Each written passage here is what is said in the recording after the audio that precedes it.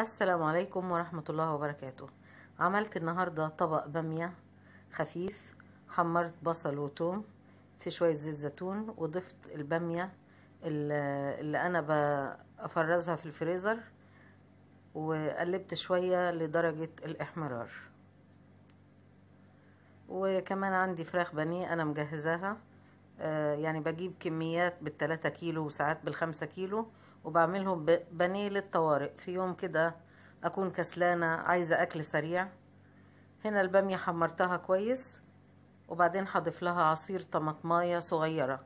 أنا ما بحبش الطماطم كتير في البامية.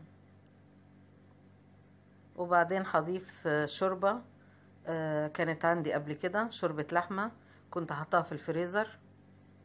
مصفياها طبعا. آه، وبعدين آه، هخليها لحد ما تستوي عشان أعمل لها تقلية بالثوم والفلفل والريحان. هغطي عليها لحد ما تستوي. ودي التقلية الجميلة بتاعتها توم وكزبرة خض... وكزبرة ناشفة وريحان وقرن فلفل ضفتها للبامية. وأدي طبق البامية الخفيف الجميل. والبانيه أنا كمان حمرته جنبيها وطبق سلطة و... يعني غدا خفيف النهاردة.